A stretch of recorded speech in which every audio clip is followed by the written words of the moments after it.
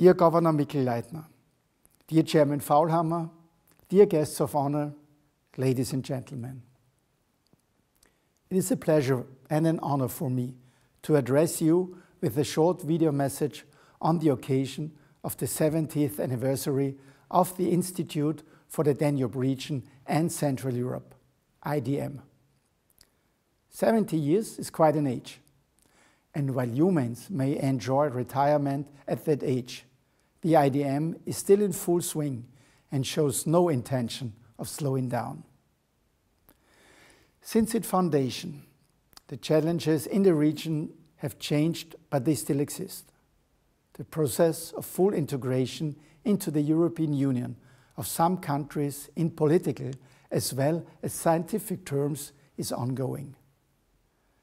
The central vision of the IDM to foster a democratic, peaceful and sustainable European future through cooperation and dialogue across borders is therefore more pertinent than ever. As Minister of Education, Science and Research, I would like to highlight three points when it comes to the outstanding work of the IDM. The strong scientific foundation and analytic capacity of the IDM can help us to better understand the challenges of the region and find ways of addressing them together.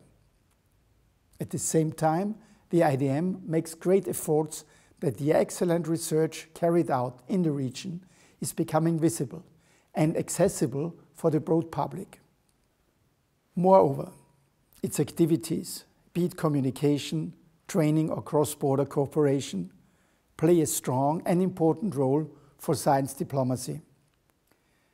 The IDM helps to build bridges between countries and to create an environment of mutual respect, trust and equality.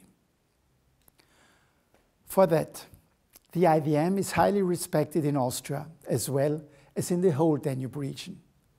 This is certainly also the achievement of the visionary long-term chairman, the late Erhard Busek, whom I want to especially acknowledge at today's event. Let me close by thanking the whole team of the IDM, including the current chairman Friedrich Faulhammer, for the excellent cooperation, especially in supporting the scientific advancement of the Danube region, which we are looking forward to continue over the coming years.